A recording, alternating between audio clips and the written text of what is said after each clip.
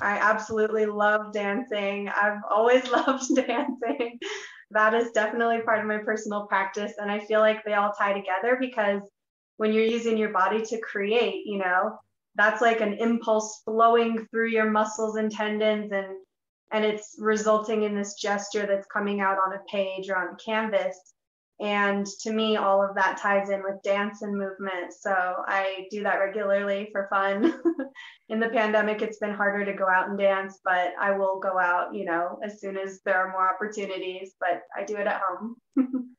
well, and yeah, and before you, you said that uh, in your creations, you put in a lot of uh, like personal emotions, for example. So if I mm-hmm. link that to dancing just now, uh, what kinds of emotions make you want to dance?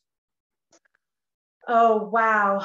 I love I love to dance out so many different emotions. I will dance out joy and excitement and bursts of energy. I will dance out fury and rage and frustration.